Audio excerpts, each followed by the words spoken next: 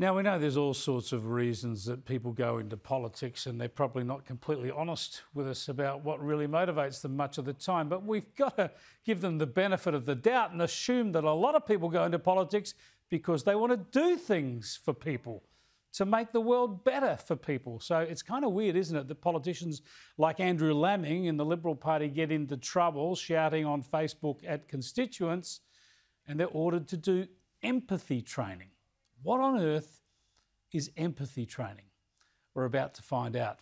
Let's catch up with Katherine Teh, who actually delivers empathy training. Thanks for joining us, Katherine.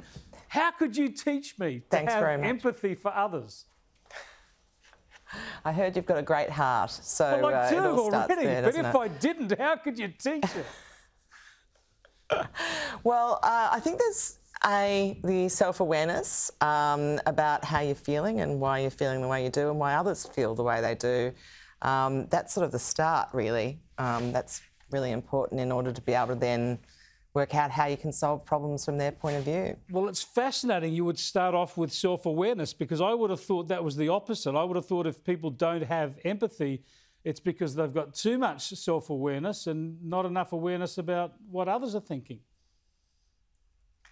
Well, I guess it's about the, you know, you're making the assumption there that self awareness means self focus. And I think um, in this context, self awareness is about understanding the effect that you're having, the feelings that you have. So if you're really agitated and reactive or really angry or uptight, the effect that you're going to have on the person that is trying to tell you about a concern they have is going to be quite different than if you're feeling calm and comfortable and curious and engaged and interested in what they have to say to you.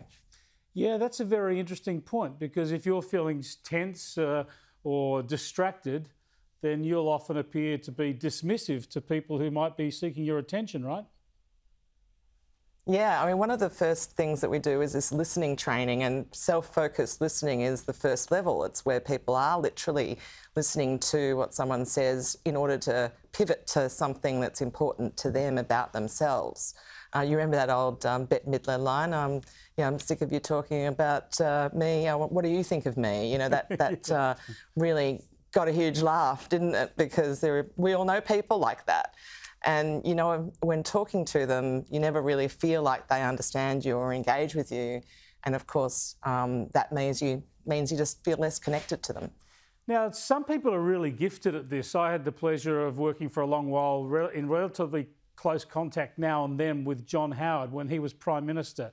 And I saw him in situations where he was considering very, very difficult issues in a National Security Committee of Cabinet and the like, then would have to go to another mm. meeting that might be a bunch of school kids. And for that moment, he would shut out everything else and give those school children his undivided attention. And I saw that in Bill Clinton too. People always say that with Clinton, that you're always the mm. most important person mm. i- is the one in front of him. And I saw it. Mm. So uh, th- there's a natural ability to actually shut out other concerns or other worries and focus on the person you're speaking with, isn't there?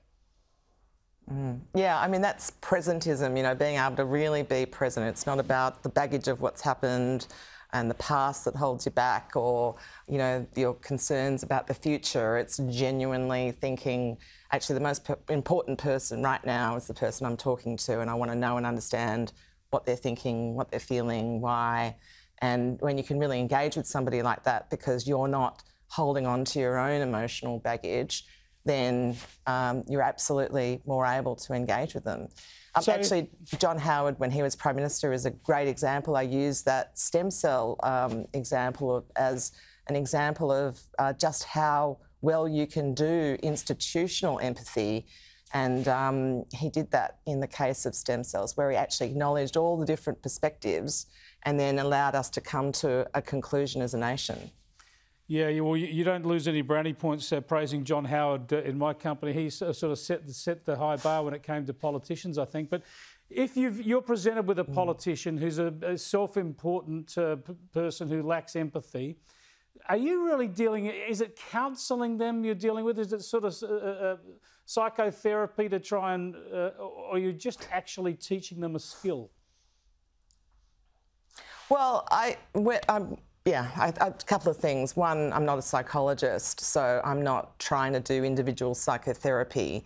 Um, what I am is someone who does engagement and communications in really hard conflict situations where people are angry with each other. So, polarised situations, angry activists or angry community members or angry company people or angry governments, all of those things, high conflict situations is my specialty.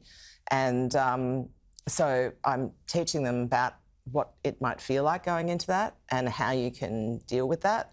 Because it's, like I said, about how you might feel as well. Because if you're apprehensive going into it, defensive going into it, you're going to create that situation. Um, and then it's how the other person might feel and how you can try to make sure they feel as empowered, as capable of engaging effectively in that situation as possible. It's fascinating stuff, Katherine. Thanks so much for joining us. Thank you. Appreciate it.